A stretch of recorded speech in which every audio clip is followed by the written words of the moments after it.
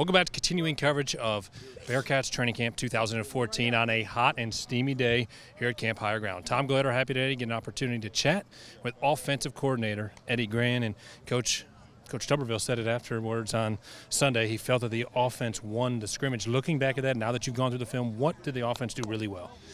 You know, I, I, was excited about their effort and how they came out. And you know, the first drive we scored a touchdown. We always talk about starting fast, and so that was exciting. But you know, it's never as good as you think. It's never as bad as you think once you get to the film. We got a long way to go. I do like where we're at right now compared to last year, but we're nowhere near the football team we need to be on offense. We got to be more physical in the run game. I thought we ran the ball decent at times, but it's got to be more consistent. But thought the plays and the explosives that we had with our wide receivers, I thought that was huge part of putting this offense together is obviously the quarterback competition. Do you feel like all of those guys have done a good job of pushing each other and competing? I don't think there's any question. I think our competition everywhere on offense right now is really good. I think we've recruited well enough now where there is competition at every position.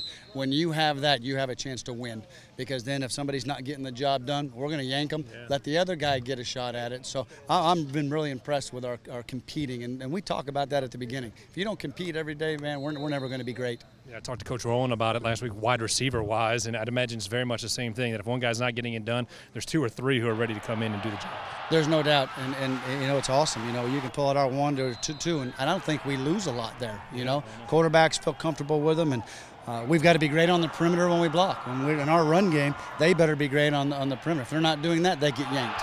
So those receivers have a, a, lot of different jobs out there too that we depend on them for. You talked about your running game. Of course, you coach the running backs. How is the competition between Hosey Williams and Tion Green if one of those guys tries to emerge as a starter gone? You know, I, I thought Hosey and, and, and Tion right now, I thought Tion was actually making a, he was really pushing Hosey. You know, I thought it was really 1A, 1B. You know, if we get 80 to 90 plays in a game, I, I don't see, nobody can run 80, 90 plays, you know, so it's going to be a split deal. I'd like to get somebody on a roll, though, and take that thing over, you know, and then when he gets tired, come out but not have just a split deal. Like to have somebody take that thing over. Has it happened yet? No, but I love the competition at it. Rod Moore had a good scrimmage. Uh, you can yeah. see his speed and what he's doing. So uh, I think we've got three solid right now. We've got a young back that's really working at it. So, you know, you look at Chad Banchbach who came in and, and, and, and he does uh, everything right all the time. You know, he's not going with the ones and twos, but he's still done a nice job. All right, Coach. Certainly lots of great things going on on the offensive side of the ball. And today is a two-day, so you guys will be back at it again